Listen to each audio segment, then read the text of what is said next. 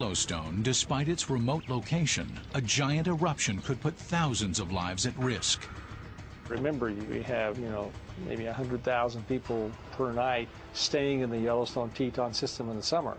This is equivalent to a community of a, of a you know, a modern U.S. city that are compacted into this zone of potential eruption, so the exposure is rather high. At Yellowstone, we may be on the edge of a precipice. And the question is not if it will erupt, but how and when. Nothing you can do about a volcano. If it's going to go off, it's going to go off. And the effects on civilization are going to be drastic. We may not be able to prevent an eruption, but when the molten rock begins to move up toward the surface, will all the scientific data warn us in time? Now, using historical records, scientific models, and the latest in computer technology, you will witness the devastation that follows when the giant volcano of Yellowstone erupts. The force of the Earth's gravity is weaker at Yellowstone due to the hot water and molten rock below the surface. For 70,000 years, the Yellowstone volcano has remained quiet. But sooner or later, its magma chamber will slowly fill with millions of tons of molten rock. Gas pressures will push up toward the surface, bringing the volcano to the breaking point. This is one of the rules of geology.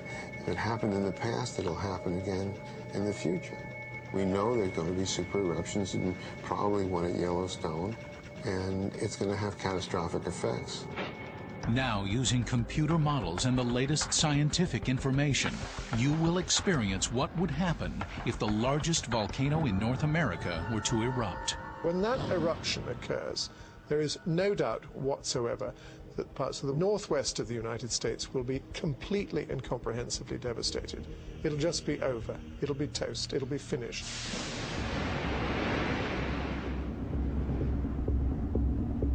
First indications of a Yellowstone eruption will be rumblings heard underfoot as dozens of small earthquakes begin. The ground begins to rise from the pressure of the expanding hot waters, gases, and surging magma. The temblors grow in strength, spreading across the entire rim of the caldera. All the tourists have to be cleared from the park. Officials send out warnings to towns within a 100-mile radius, the danger zone of a Yellowstone super eruption. The cities of Bozeman, Montana and Cody, Wyoming prepare for the worst. Throughout the park, new cracks in the ground release huge geysers, spouting superheated water hundreds of feet into the air. The earthquake shaking itself will create fractures and cracks, allowing more material to come out. The last of the tourists and park personnel must rush to leave the park, trying to reach a safe distance some 100 miles away before the caldera lets go. They may not have enough time. Lava first appears oozing out of cracks in the surface. Then, steam and ash explode hundreds of feet into the air. But instead of this relieving the pressure, it pushes the volcano over the edge. The magma contains a lot of gas. And if you're able to depressurize the system rapidly, then the magma will lose its gas explosively and you can have a very, very large eruption. From five miles below the surface, molten rock heated to 1200 degrees bursts into the air. It begins to erupt, and you see these flows coming out sideways, and uh, there's nowhere to go. Like a hurricane of ash, pyroclastic flows rip along the ground at 100 miles per hour. For those who left the park within the past half hour, their luck has run out. 50 miles away, the 30,000 residents of Bozeman, Montana watch in horror as the plume of ash and rock reaches into the sky. If they know anything about Yellowstone's past, they'll know they have little time before their city is devastated. The pyroclastic flows may go out as far as 50 to 100 miles away from the volcano. And so you'd see the pyroclastic flows coming across ridge after ridge after ridge, and then finally hitting where you are. So local, locally, regionally, it, it's absolutely devastating. Everything would be killed.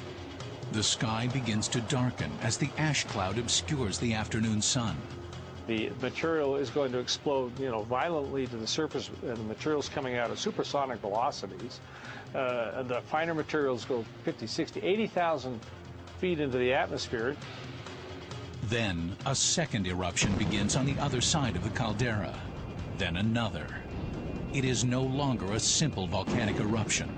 Like it did hundreds of thousands of years ago, Yellowstone builds into the largest eruption known to man. The giant cauldron of magma spews a million tons of melted rock thousands of feet into the air as several volcanoes continue to erupt.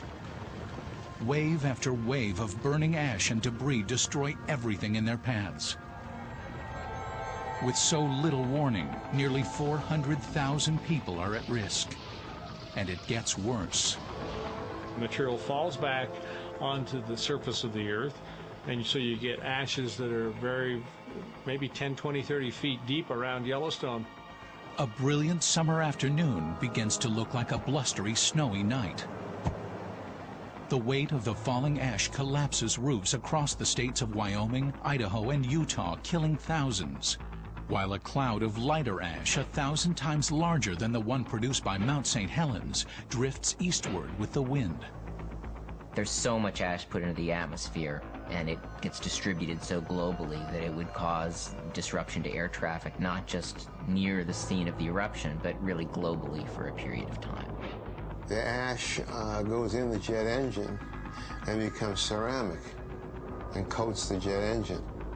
And there have been horrifying uh, descriptions of airplanes just losing their power and diving while the pilots try to figure out what to do to start the engines again.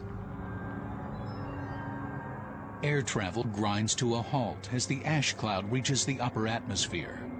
And then, the deadliest part of the Yellowstone eruption begins. There's lots of ways you can die in a pyroclastic eruption. And one way is to inhale the stuff and inhale these sharp uh, pieces of glass. They attack the lungs, they attack the bones, they kill you from the inside. Across the country, masks are supplied to protect people against the ash. But farm animals have no protection. Within weeks, vast numbers of the country's livestock die like the animals that roamed the Nebraska plains 12 million years before. And volcanic ash covers much of the Midwest's farmland. You can't grow anything in that ash. Fresh volcanic ash is sterile, like Mount St. Helens just after the eruption. And so it wipes out the breadbasket of, of the world, breadbasket of Canada, breadbasket of the United States. And the effects could last for years. Recovery is going to be a long process. So where does food come from in the meantime? I don't know. Millions of people could die from starvation related directly to the ashfall in America's Midwest. Countless more would suffer as the ash cloud drifts across the globe, dramatically changing our climate. It's quite likely that the, the climatic effects would be much worse than humans have experienced in the last couple hundred years. The Toba eruption suggests that ash particles would remain in the atmosphere for six years, radically cooling the planet.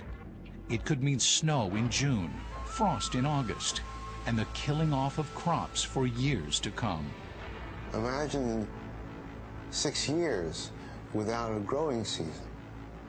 What does that mean? I foresee a very difficult period of time when civilization would really be strained at the, at the roots. This would be the most severe condition that human beings uh, have ever met. It may not happen for thousands of years, but one day history will repeat itself. The slumber of the Yellowstone caldera will end, and the planet will face potential catastrophe. Hopefully by then we'll be prepared. But if not, it could be one of nature's greatest mega disasters.